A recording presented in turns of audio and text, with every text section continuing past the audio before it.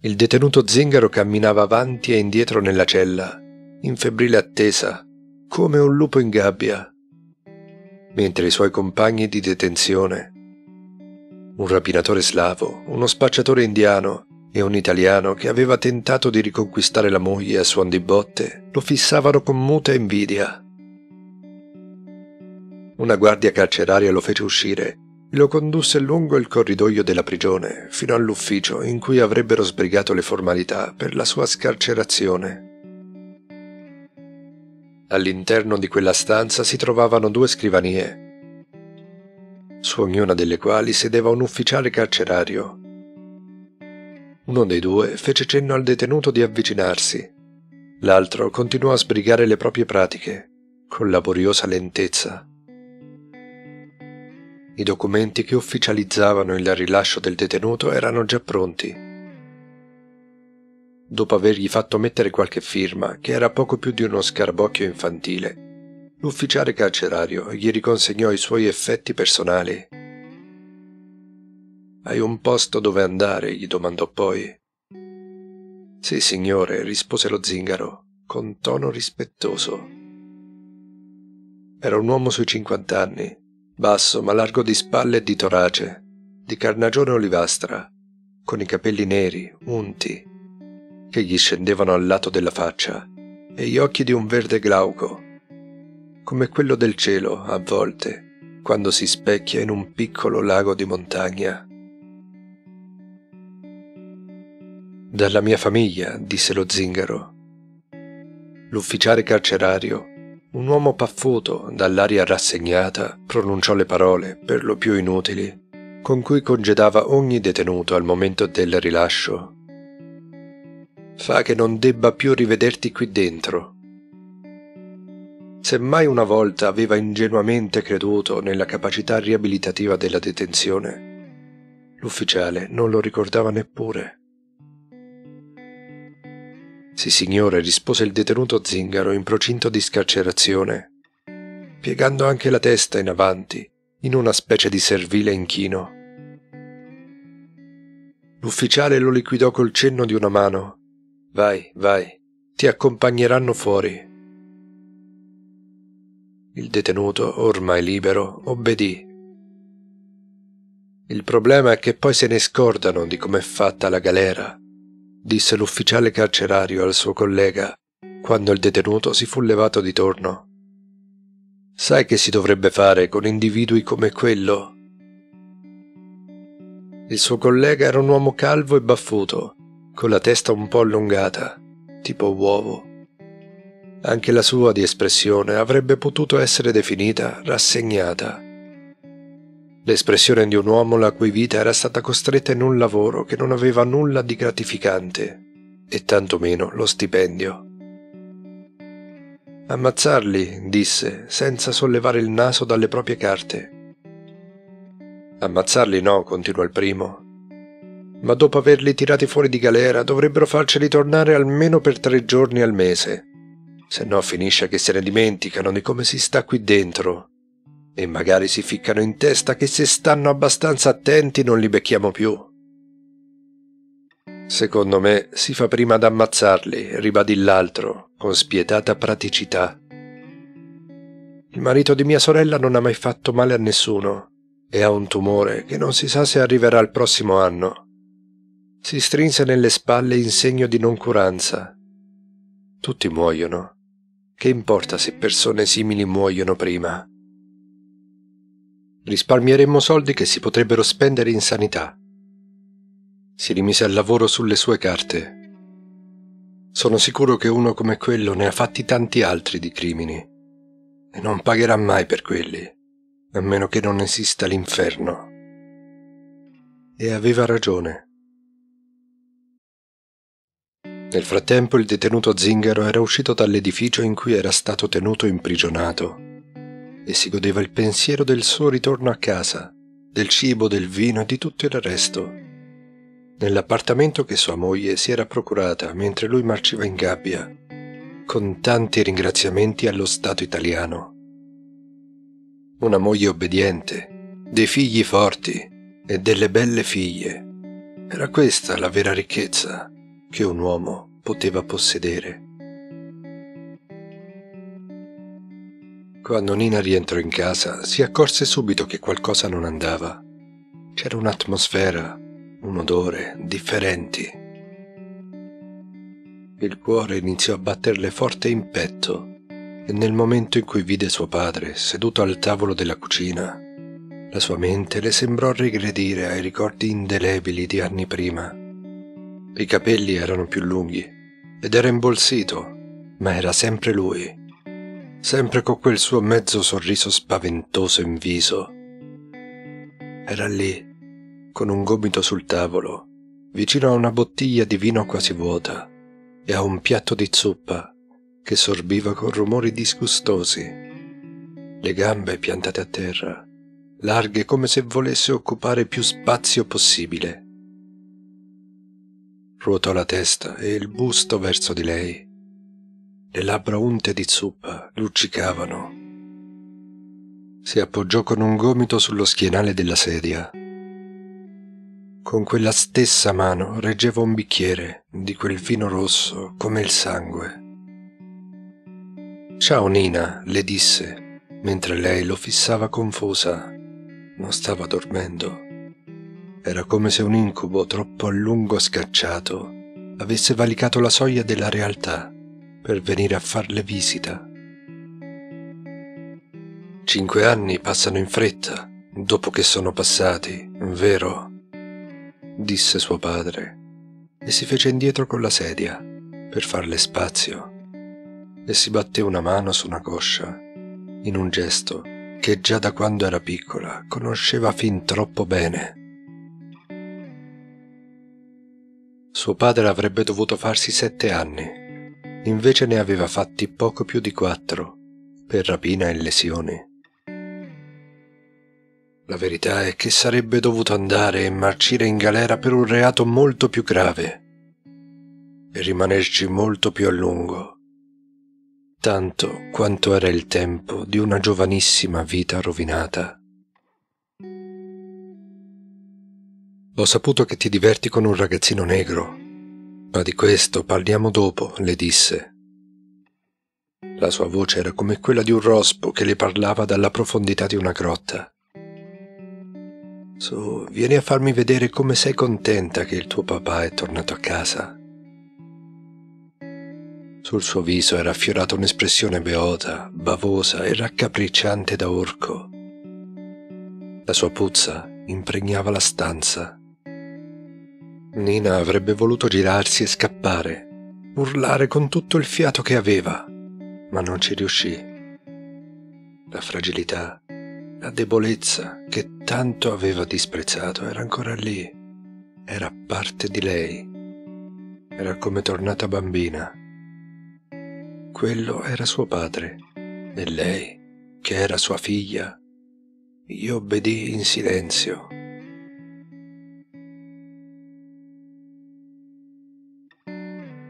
Quella notte, anche se non disse loro che stava per andarsene, Nina passò a salutarli. Scavalcò il divisorio fra i balconi dei loro appartamenti, svegliò Kobe e Tahir e chiese loro di non fare assolutamente rumore, perché se suo padre avesse scoperto che era lì, li avrebbe fatti tutti a pezzi, a partire da lei. Cucinarono e parlarono a lungo il tutto a voce bassa. Nina sorrise e scherzò. Tenne per sé il suo tormento e la sua decisione. Che ne dite di dormire un po'? disse infine la ragazza. Mi aspetta una giornata davvero faticosa. Si infilò a letto con Tahir, chiese di abbracciarla e lui lo fece, perdendosi nell'odore buono dei suoi capelli e della sua pelle non potendo minimamente sospettare che cosa le era successo in quella brutta giornata d'autunno. Ma Nina non voleva certo piangersi addosso, non più. Piangersi addosso non serviva a niente. L'idea di andarsene la faceva sentire perduta e disorientata Ma questo non era importante, perché qualsiasi direzione avesse preso, sarebbe stata meglio che rimanere lì, in balia di suo padre. Il giorno dopo, quando Taira e Kobe si svegliarono, Nina se n'era già andata. Naturalmente sul momento non sospettarono affatto che quella notte passata insieme voleva essere un addio. Nina non aveva detto nulla riguardo al ritorno di suo padre, ma appena Taira lo seppe, capì che era stata colpa sua se Nina se n'era andata. Preso da una furia incontenibile, corse all'appartamento degli zingari e cominciò a tirare calci e pugni alla porta, dimenticandosi che era poco più di un ragazzino. Il padre di Nina uscì dall'appartamento come una furia e lo colpì con un pugno dritto sul naso. Tair si ritrovò a terra, con la vista appannata e un flusso di sangue che gli scolava dal naso come un rubinetto rotto. Il padre di Nina continuò a colpirlo, prendendolo a calci cercando il volto e lo stomaco, mentre Tair tentava di ripararsi alternativamente con braccia e gambe, annaspando nell'aria come se stesse affogando in essa. Indietreggiò fino a trovare il muro alle sue spalle. Kobe urlava e chiedeva aiuto. Corse contro il padre di Nina, ma quello lo allontanò con una manata. Poi si trasse di tasca un coltello e si chinò su Tair. Io ti taglio la gola, negretto, i suoi occhi erano illuminati di odio. Fu il compagno di Raja a salvare Tahir. Acchiappò il padre di Nina per il braccio con cui teneva il coltello e per il collo e lo scaraventò contro il muro dall'altra parte del corridoio. Nonostante la botta, lo zingaro non aveva lasciato il coltello e ora lo rivolgeva verso il compagno di Raja.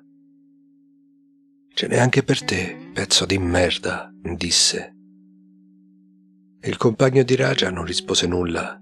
Si limitò a estrarre il macete che aveva incastrato alla cinta dietro la schiena. Lo zingaro si sentì subito ricondotto a più miti consigli. Non mise via il coltello, ma sollevò le mani in un gesto di non belligeranza. Intervenne Raja. Se fai del male a quel ragazzo, tutta la mafia nigeriana ti darà la caccia. Bleffò. Lo zingaro sorrise. Se viene di nuovo a disturbarmi, io e i miei fratelli vi faremo tutti a pezzi. E le sue parole sembrarono decisamente molto più sincere e pericolose di quelle di Raja. La madre di Nina li osservava dalla soglia della porta, con rabbia silenziosa. Tahir, mentre suo fratello lo aiutava ad alzarsi, le rivolse uno sguardo di rancore e accusa perché sapeva che era stata una cattiva mamma per Nina. Qualche giorno dopo iniziò a girare la notizia che Nina era stata presa dalla polizia per furto e che sarebbe finita in una casa famiglia. A Teir parve impossibile, perché Nina era troppo accorta per fare errori simili, a meno che, certo, non avesse semplicemente voluto farsi arrestare. Kobe sperò che Nina potesse realizzare il suo desiderio di avere una vita normale, come quella delle persone che vivono in questo paese, come quella che lui stesso sperava di poter vivere un giorno e per cui lottava, per sé e per suo fratello. Tahir, gettato sul suo materasso, non sperò in nulla e pianse tutte le sue lacrime. Due settimane dopo bussò alla porta di Raja e del suo compagno. Grazie di avermi aiutato, disse Tahir a quest'ultimo. Il compagno di Raja minimizzò la cosa con un gesto di noncuranza. Se non ci si aiuta tra noi neri, disse e rise. Sono sicuro che anche tu avresti fatto la stessa cosa se fossi stato io nei guai e tu fossi stato grande e grosso e armato come me. Ciò detto fece per richiudere la porta, ma Tahir non era lì solo per ringraziarlo. Finalmente ti sei deciso a diventare un uomo, esclamò il compagno di Raja ridendo. e assestò sulle spalle di Tahir una pacca di cameratesca complicità maschile. Le spalle del ragazzo si erano irrobustite a forza di sollevare cassette cariche di frutta. Ciò nonostante quella manata a momenti lo piegò in due. Per quanto Tahir avesse voglia di crescere, era ancora poco più di un ragazzino. Ma prima devi pagare, sottolineò l'uomo, tendendo la grossa mano verso il suo giovane cliente. Tahir si trasse delle banconote di tasca e gliele porse, suscitandone l'indignazione. È troppo poco, esclamò il compagno di Raja. Questo è un insulto alla mia donna. È tutto quello che ho, ammise candidamente Tahir. E l'uomo di fronte a lui si piegò sulla schiena, a fissarlo intensamente in viso, come se così facendo potesse stabilire la veridicità delle sue parole. Per questa volta può bastare, concesse, e gli fece strada nell'appartamento. Una tendina di perline conduceva nella stanza in cui Raja sbrigava sia le sue faccende amorose che quelle lavorative. La stanza era bianca, priva di ogni cosa, se non una lampada da terra con la plafoniera rossa, una sedia dove i clienti avrebbero potuto appoggiare i propri abiti e un letto a due piazze, dalle coperte rosa di qualche materiale sintetico. Su una parete una foto incorniciata ritraeva il sensuale corpo di una donna di colore, nuda, in una posizione che definire provocante era diminutivo. Probabilmente era Raja la modella di quella foto. Tuttavia era impossibile stabilirlo con certezza, visto che quella particolare posa escludeva il viso dall'inquadratura per Tahir la mancanza di Nina era una morsa feroce allo stomaco. Il dispiacere del suo allontanamento si era sedimentato in lui, alimentandosi di incomprensione e rancore. Per quale motivo Nina se n'era andata in quel modo, senza dirgli nulla, senza fare in modo che potesse rivederla o almeno contattarla? Tahir si sentiva tradito e abbandonato ed era per questo che era lì, a chiudere la ferita del suo cuore, pagando per ottenere una prestazione sessuale, per sostituire il suo cuore con un sasso, come gli aveva detto Gennaro, così da non dover mai più provare un simile senso di vuoto e smarrimento. Da quando Nina se n'era andata, la vita per lui era diventata un tormento continuo un continuo ricordare e rimpiangere e non capire. Una tendina di perline, fissata allo stipite, celava la vista in quella stanza anche quando la porta era aperta. Il tintinnio delle perline annunciò l'arrivo di Raja.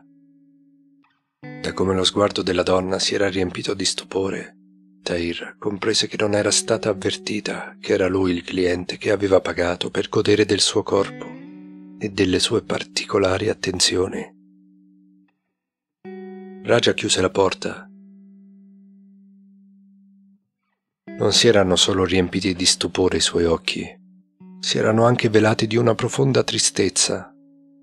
Tahir si sarebbe aspettato di vedervi biasimo e condanna, questo sì, ma non tutto quel profondo dispiacere gli occhi di Raja erano gli occhi di una madre che temeva per il proprio figlio. Ma lui non era suo figlio. Taira non voleva che Raja fosse una madre per lui. Se lo voleva Kobe, gli stava bene, ma non lui, non lo voleva.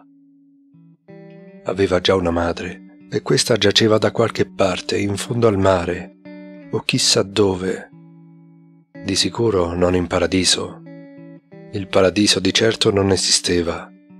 Era impossibile che esistessero esseri onnipotenti e buoni in un mondo in cui navi di disperati si capovolgevano, perché questi erano tanto stupidi da spostarsi tutti sul lato. Vuoi che mi spogli? disse Raja. Taira annui in modo assente. Poi sentì la propria voce dire di sì.